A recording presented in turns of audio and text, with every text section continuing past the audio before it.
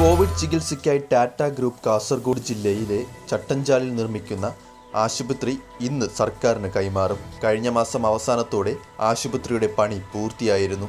സംസ്ഥാനത്ത് കോവിഡ് ചികിത്സയ്ക്കായി നിർമ്മിച്ച ആദ്യ ആശുപത്രിയാണിത്. രാജ്യത്തെ വിവിധയിടങ്ങളിലുള്ള ടാറ്റയുടെ പ്ലാന്റുകളിൽ യൂണിറ്റുകളുണ്ടാക്കി കണ്ടെയ്നറുകളിൽ ചട്ടഞ്ചാലിൽ എത്തിച്ചാണ് ഘടിപ്പിച്ചത്. അഞ്ചു കട്ടിലുകൾ ഇടാൻ കഴിയുന്ന ഐസൊലേഷൻ ക്വാറന്റൈൻ വാർഡിന്റെ യൂണിറ്റ് രോഗം സ്ഥിരീകരിച്ചാൽ കഴിയാനുള്ള മൂന്നും ഒന്നും കിടക്കകളുള്ള പ്രത്യേക യൂണിറ്റുകൾ എന്നിവയാണ് ഇതിനുള്ളിലുള്ളത്. രോഗം സ്ഥിരീകരിച്ചവർക്ക് കഴിയാനുള്ളതൊഴികെ മറ്റെല്ലാ യൂണിറ്റുകളും ശീതീകരിച്ചതാണ്. നൂതന സൗകര്യത്തോടു കൂടിയാണ് ശുചിമുറി. നൂറ്റി ഇരുപത്തിയെട്ട് യൂണിറ്റുകളിലായി അഞ്ഞൂറ്റി നാൽപ്പത്തി ഒന്ന് കിടക്കകളാണ് സജ്ജമാക്കിയിരിക്കുന്നത്. ഭൂമി റവന്യൂ വകുപ്പാണ് നൽകിയത്.